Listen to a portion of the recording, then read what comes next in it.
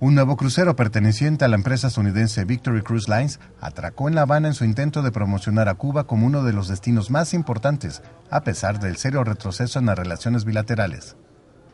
El barco Victory One llegó a la capital cubana con 140 pasajeros a bordo, después de navegar por varias ciudades de la isla como Santiago, Trinidad y Cienfuegos, donde los viajeros participaron en actividades culturales y educativas.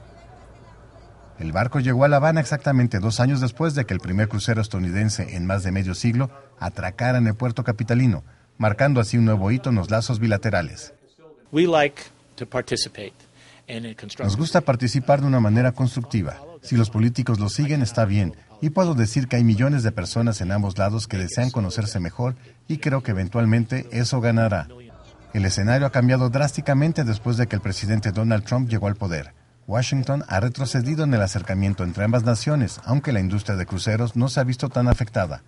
En actualidad, las compañías estadounidenses Carnival Cruise Lines, Royal Caribbean, Norwegian y Pearl Seas operan cruceros a Cuba con resultados beneficiosos y a pesar de las limitaciones que impone el embargo norteamericano a Cuba.